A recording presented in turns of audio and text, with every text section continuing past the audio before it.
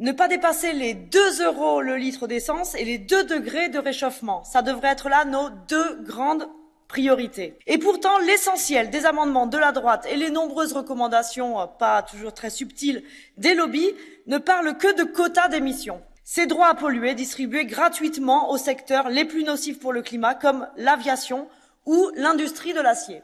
À l'écouter les lobbies, il faudrait continuer à arroser le marché carbone de ces droits à polluer pour ne surtout pas nuire à la compétitivité des entreprises et tout ça au détriment du climat.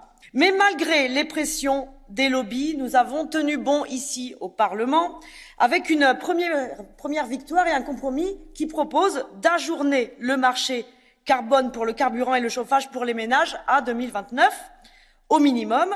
Ce marché l'inclusion du transport et du bâtiment dans le marché carbone n'aurait fait qu'augmenter les factures déjà bien trop élevées de l'essence et du chauffage. Nous l'affirmons, le marché carbone n'est pas la solution.